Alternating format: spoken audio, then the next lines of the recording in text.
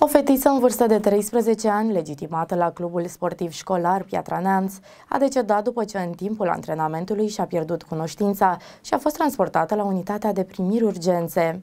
Fetița a fost resuscitată pe teren de profesorul acesteia, apoi de cadrele medicale sosite la fața locului, fiind transportată la unitatea de primiri urgențe Piatra Neamț, unde a decedat. Antrenamentul la care participa eleva era de intensitate redusă, după cum ne informează profesorul antrenor, și avea loc în condițiile pregătirii necesare participării la campionatul național de cadete din 14 ianuarie 2023, conform informațiilor primite din partea CSS Piatra Neamț, putem preciza că eleva avea efectuată vizita medicală periodică la cabinetul de medicină sportivă cu care unitatea are contract și avea viza medicală valabilă. De asemenea, din cele relatate de părinții sportivei, aceasta a fost supusă unor investigații medicale chiar la începutul anului 2023 și nu s-a evidențiat nicio problemă medicală incompatibilă cu practicarea sportului de performanță siguranță, a declarat inspectorul școlar general Florentin Luca Moise. Polițiștii efectuează cercetări în cadrul unui dosar penal privind infracțiunea de ucidere din culpă. Echipajele medicale s-au prezentat la fața locului, minora fiind transportată la o unitate medicală pentru acordarea de îngrijiri de specialitate. Din păcate, în jurul orelor 13.50